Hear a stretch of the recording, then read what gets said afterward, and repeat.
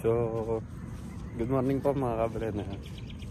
Ito na po ang 11th day ng ating vlog. Nandito po kami ngayon sa Sunset Park. Pa! So, kagaya po ng sinabi ko kahapon, hindi po muna tayo mamiminwet kasi mamamaral po muna tayo kasi medyo wala tayo nakukuha ngayon sa, pa, sa pamiminwet mahina. Ah, mamaral po muna tayo.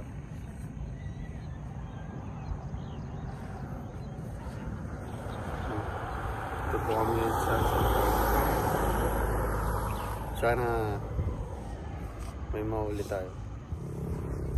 So, andito pa rin po kami sa may Sunset Park mga kapatid na medyo may nakikita sila.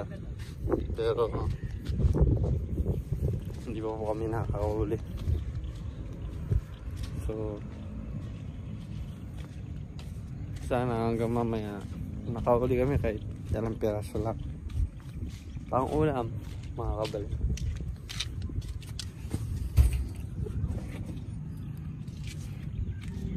So, abot lang natin to.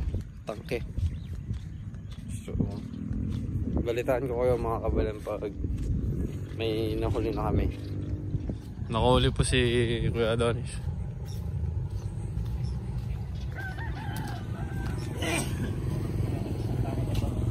Tingnan po natin yung nahuli niya. Dami lang ko may nakawala yung pata. Yun, lalaban yun.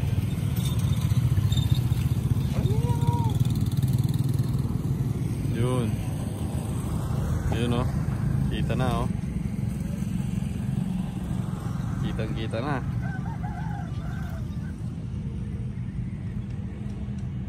Yung laki. Laki.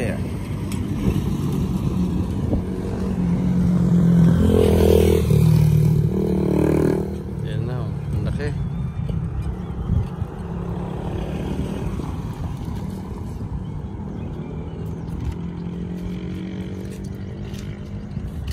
One zero. Wala po tayong kasiro ngayon.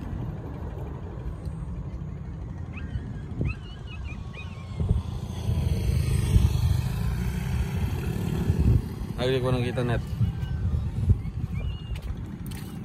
So, nakaisa na po tayo mga kabalit. Kaya, sana madagdagan pa. So, Nakauli na din po si Papa. Yun po.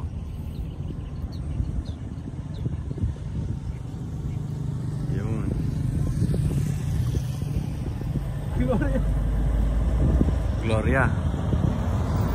Alam mo, may yung puting balas. Ay, may nabuya pa. Nahulog pa. Mali yung puting balas eh. Ba nagtagaling kayo mo tan? Tingin siya ulan. Oo.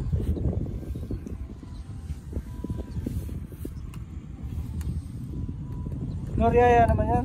Alia. Um, so, nakawala pa. Pero, Hindi tumagos yung bala eh. sana makahuli pa tayo. O pa?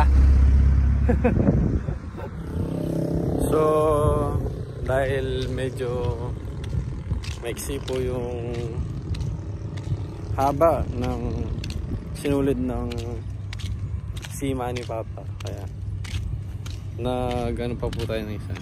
Nag-set po ako ng isa. Hinabahan ko na po yung sinulid para matamaan niya talaga. Kasi, kagaya nung kanina yung kulay niya. Kaya nakawala, ah, hindi tumagos yung sima kasi maiksi yung linya niya. Kaya, pinagawa natin si Papa ng isa. Bibigay natin sa kanya ngayon. So, nabigay na po natin kay Papa. Ito po yung sima ginagag na kanina. Makalawang na po. So, babalik tayo dun sa pwesto natin. Sana Maragdagan pa yung isang huli natin, nakakaisa pa lang tayo. Pero nag-umpisa pa lang naman tayo kaya okay lang yun. So, lumipat po kami ng pesto mga kabayan kasi hindi na nagdagdagan yung huli natin doon sa may Sunset Park. Kaya nandito kami sa may sa dati pesto yung unang araw na pinaghulihan natin ng isda. Dito pa rin yan sa part ng Minalim Pampanga malapit sa Sunset Park. Baka baka dito sila bababa kasi parang may nakikita sila malalaki.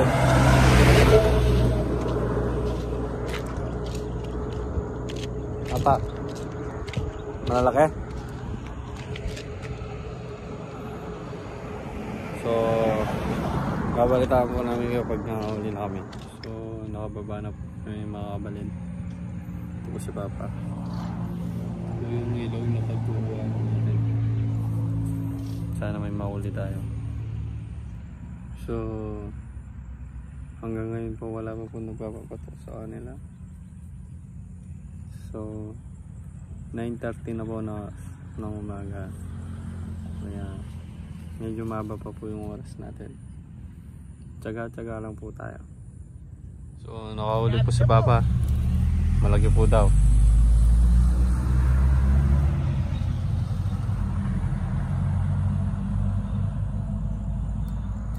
Oo, iniilo po ni Papa.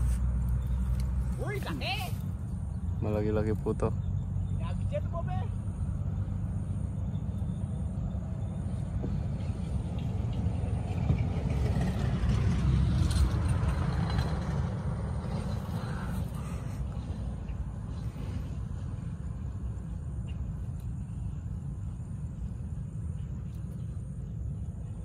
Sumabit po.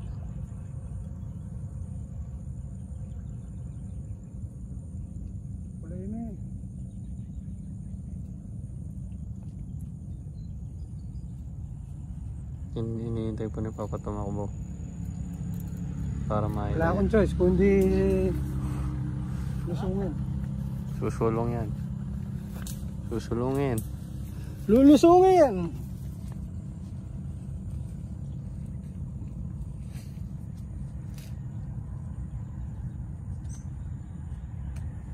Makakapabanin niya.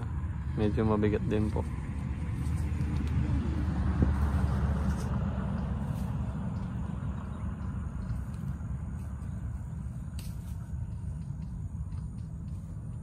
Wala akong pinagagawin. Hmm.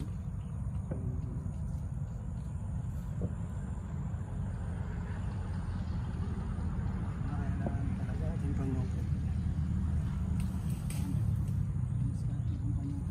So, nakawala po yung isang huli ni Papa. Kaya, medyo malas po tayo. Sayang po yung, medyo malaki din po yun kasi nasabit po eh, kaya nakawala. So, sa makahuli pa po tayo. So, nakahuli po si Papa mga kabalit. Maganda rin po yung sukat niya. So, Pero hindi ka tulad mo sa kanina. mm,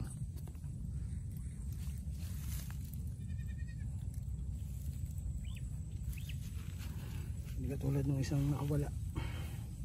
nakawala po kasi yung isa kanina.